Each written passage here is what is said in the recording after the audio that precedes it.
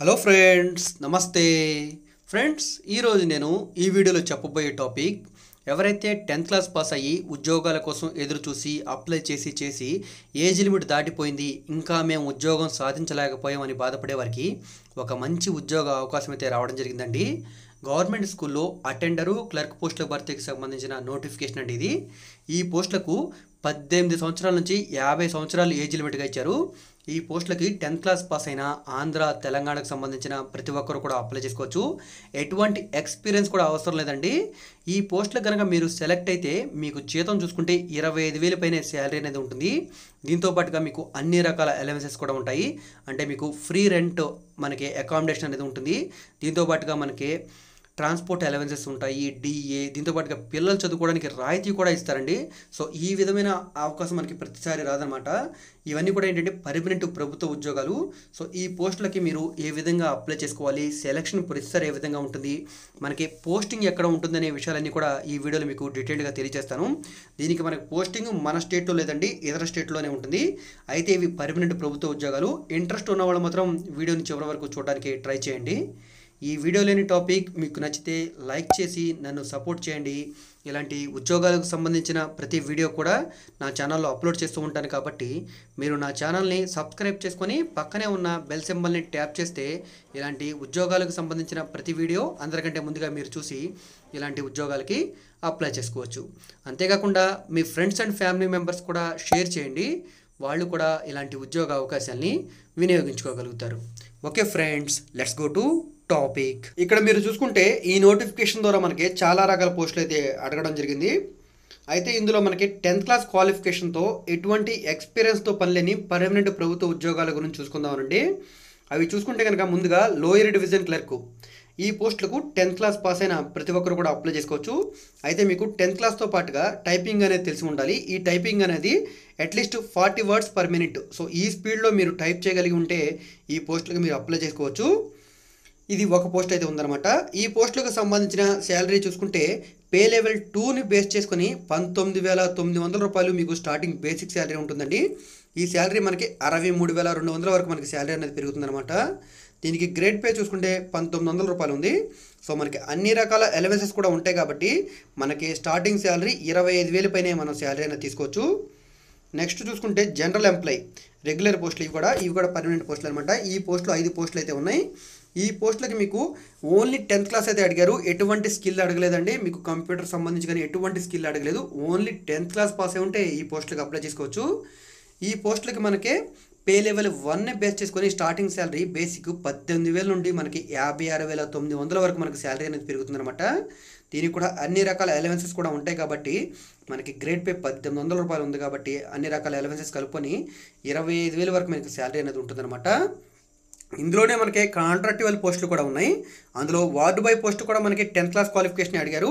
ఇవి రెండు పోస్టులు ఉన్నాయి. ఈ పోస్టులకి ఏంటంటే మీకు ఇంగ్లీష్ స్పీకింగ్ అనేది తెలిసి ఉండాలని ఇచ్చారు. మీకు ప్రొఫిషియన్సీ అంటే ఇంగ్లీష్ బాగా మాట్లాడగలిగి ఉండి టెన్త్ క్లాస్ పాస్ అయి ఉంటే ఈ పోస్టులకు అప్లై చేసుకోవచ్చు. అయితే ఇది కాంట్రాక్ట్ పోస్ట్ అనమాట ఈ పోస్టుకి శాలరీ చూసుకుంటే ఇరవై వేల రూపాయలు ఉందండి శాలరీ శాలరీ చాలా బాగుంది కాబట్టి అప్లై చేసుకోవడానికి ట్రై చేయండి. నెక్స్ట్ మనకి జనరల్ ఎంప్లాయీలోనే కాంట్రాక్టువల్ పోస్ట్ కూడా ఉంది ఒక పోస్టు.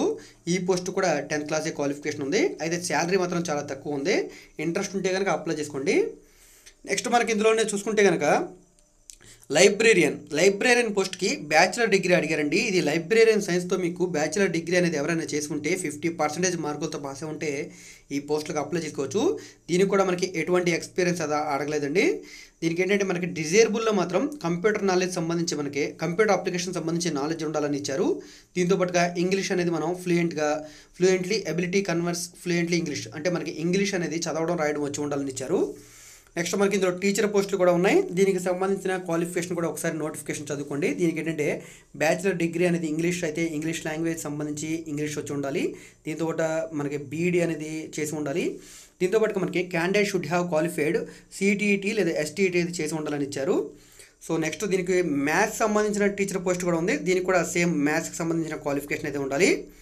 నెక్స్ట్ మనకి ఆఫీస్ సూపరింటెండెంట్ ఈ పోస్టులకు మనకి గ్రాడ్యుయేషన్ వచ్చేసి దీనికి సంబంధించి ఫైవ్ ఇయర్స్ వర్క్ ఎక్స్పీరియన్స్ అయితే అడిగారు. సో ఎవరికైనా వర్క్ ఎక్స్పీరియన్స్ ఉంటే అప్లై చేసుకోండి. దీంట్లోనే మనకి అప్పర్ డివిజన్ క్లర్క్ పోస్ట్ కూడా ఉంది. దీనికి కూడా మనకి graduate with at least two years office experience in government or commercial organisation so మనకి గ్రాడ్యుయేషన్తో పాటుగా టూ ఇయర్స్ వర్క్ ఎక్స్పీరియన్స్ ఉంటే ఈ అప్పర్ డివిజన్ క్లర్క్ పోస్ట్ కూడా అప్లై చేసుకోవచ్చండి. సో మనకి ఇందులో అందరూ అప్లై చేసుకోదగిన ఆ పోస్టులు చూసుకుంటే కనుక లోయర్ డివిజన్ క్లర్కు దీంతో పాటుగా మనకి జనరల్ ఎంప్లాయ్ ఈ రెండు పోస్టులు అంటే ఇందులో మొత్తంగా లోయర్ డివిజన్ క్లర్క్లో ఒక పోస్టు జనరల్ ఎంప్లాయీలు ఐదు పోస్టులు ఇవి రెండు కూడా పర్మనెంట్ ప్రభుత్వ ఉద్యోగాలు. ఈ పోస్టులకు టెన్త్ క్లాస్ క్వాలిఫికేషన్ ఉన్న ఎవరైనా అప్లై చేసుకోవచ్చు. ఇందులోనే మనకి వార్డు బాయ్ కూడా ఉంది జనరల్ ఎంప్లాయీ కూడా ఉంది. ఈ రెండు కూడా కాంట్రాక్ట్ పోస్టులు ఈ పోస్టులు కూడా టెన్త్ క్లాస్ క్వాలిఫికేషన్తో ఉన్నాయన్నమాట.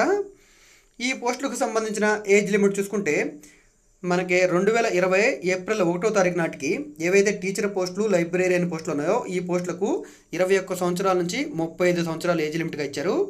మిగిలిన అన్ని పోస్టులు కూడా పద్దెనిమిది సంవత్సరాల నుంచి యాభై సంవత్సరాల ఏజ్ లిమిట్గా ఇచ్చారండి. సో ప్రతి ఒక్కరు కూడా అప్లై చేసుకునే అవకాశం అయితే ఉంది. సో అప్లై చేసుకోవడానికి ట్రై చేయండి. ఈ పోస్టులకు సంబంధించిన ఎలవెన్సెస్ చూసుకుంటే కనుక రెంట్ ఫ్రీ అకామిడేషన్ సో మనకి ఉచితంగా వసతి ఉంటుంది. Transport allowances DA medical allowances కూడా ఉన్నాయండి. దీంతో మనకి ఎల్టీసీ బోనస్ దీంతో దీంతో పాటుగా మనకి subsidised education for two children so ఇద్దరు పిల్లలు చదువుకోవడానికి సంబంధించిన రాయితీ కూడా మనకి ఇస్తారని ఇక్కడ ఇచ్చారు. సో ఈ పోస్టులకు సంబంధించి మనకి అప్లికేషన్ ఫీజు చూసుకుంటే ఎవరైతే జనరల్ ఎంప్లాయీస్ మరియు ఓబీసీ ఈడబ్ల్యూఎస్ క్యాండిడేట్స్కి ఐదు వందల రూపాయల అప్లికేషన్ ఫీజు ఎవరైతే ఎస్సీ ఎస్టీ క్యాండిడేట్స్ ఉంటారో వారికి మూడు వందల రూపాయల అప్లికేషన్ ఫీజు ఈ అప్లికేషన్ ఫీజుని కూడా మనం డిమాండ్ డ్రాఫ్ట్ అంటే డీడీ అనేది తీయాల్సి ఉంటుంది. డీడీ తీయాల్సిన అడ్రస్ చూసుకుంటే drawn in favour of principal Sainik School Chhingchhip payable at State Bank of India electric Veng branch branch code వచ్చేసి one six three six one IFSC code చూసుకుంటే SBI N double zero one six three six one. So ఈ అడ్రస్కి మనం అయితే DD తీయాల్సి ఉంటుంది. ఈ పోస్టులకు సంబంధించిన అప్లికేషన్ ప్రాసెస్ చూసుకుంటే ఈ పోస్టులకు మనం ఆఫ్లైన్లో అప్లై చేసుకోవాల్సి ఉంటుంది. దీనికి సంబంధించిన అప్లికేషన్ని వీళ్ళ వెబ్సైట్లో ఉంటుందని ఇక్కడ ఇచ్చారు. వెబ్సైట్ని చూసుకుంటే S S Chhingchhip dot Mizoram dot G O V dot in. ఈ అప్లికేషన్ ఫామ్ని నేను వీడియో కింద డిస్క్రిప్షన్లో కూడా ఇస్తాను. అక్కడ నుంచి మీరు ఒకసారి డౌన్లోడ్ చేసుకొని ఏ ఫోర్ షీట్లో ప్రింట్అవుట్ అనేది తీసుకొని అప్లికేషన్ ఫామ్ని ఫిలప్ చేసేసి దీంతో పాటుగా మీ సర్టిఫికేట్స్ని ఏదైతే మీరు డీడీ తీస్తారో ఈ డీడీని కూడా మీరు ఒక సెల్ఫ్ ఎన్వలప్ కవర్లో ఉంచేసేసి దీని మీద పోస్టేజ్ స్టాంప్ అనేది అంటించాల్సి ఉంటుంది. ఫార్టీ రూపీస్ పోస్టేజ్ స్టాంప్ అనమాట సో ఈ స్టాంప్ అనేది అంటించేసి మీరు పోస్ట్లో పంపించాల్సి ఉంటుంది. పోస్ట్ పంపించాల్సిన అడ్రస్ చూసుకుంటే the principal Sainik School Chhingchhip డా సింగ్ చింగ్చిప్ చింగ్చిప్ విలేజ్ డిస్టిక్ వచ్చేసి మనకి Serchhip pin code seven nine six one six one. So ఈ అడ్రస్కి మనం పోస్ట్లో పంపించాల్సి ఉంటుంది. పోస్ట్ మనం స్పీడ్ పోస్ట్లో పంపించాలి. రిజిస్టర్ పోస్ట్లో పంపించడానికి అవకాశం లేదండి. అడ్రస్ మరొకసారి చెప్తాను. చూసుకోండి. The principal Sainik School Chhingchhip Chhingchhip village district వచ్చేసి Serchhip pin code seven nine six one six one. So ఈ అడ్రస్కి మనం స్పీడ్ పోస్ట్లో పంపించాల్సి ఉంటుంది. సో ఈ పోస్టులకు మనం అప్లై చేసుకోవడానికి లాస్ట్ డేట్ చూసుకుంటే ఫిబ్రవరి ఇరవై తొమ్మిది వరకు మనకి టైం అయితే ఉంది. ఈలోగా ఈ పోస్టులకి ఆఫ్లైన్లో అప్లై చేసుకోవాల్సి ఉంటుంది. ఈ పోస్టులకు సంబంధించి ఇంకా మీకు ఏమైనా డౌట్స్ ఉంటే వీళ్ళకి సంబంధించిన కాంటాక్ట్ నెంబర్ కూడా ఇచ్చారు. ఈ కాంటాక్ట్ నెంబర్స్ చూసుకుంటే zero seven eight nine six nine five zero six double five లేదా nine three double six zero seven eight two zero nine. So ఈ నోటిఫికేషన్ మనకి చూసుకుంటే కనుక Sainik School Chhingchhip Mizoram seven nine six one six one. So ఇది వీళ్ళకి సంబంధించిన address అనమాట a residential public school under Sainik School society Ministry of Defence Government of India so మనకి Ministry of Defence Government of India నుంచి ఈ notification అయితే విడుదలైంది. ఇవి సైనిక్ స్కూల్లో భర్తీ చేస్తున్న పర్మనెంట్ ప్రభుత్వ ఉద్యోగాలు అనమాట ఈ పోస్టులకు సంబంధించిన సెలక్షన్ ప్రొసీజర్ చూసుకుంటే ఈ పోస్టులకు ఎవరైతే అప్లై చేసుకుంటారో వారిని షార్ట్ లిస్ట్ అనేది చేసి వాళ్ళకి రాత పరీక్ష లేదా ఇంటర్వ్యూ అనేది కండక్ట్ చేసి సెలెక్ట్ చేస్తామని ఇక్కడ ఇచ్చారు.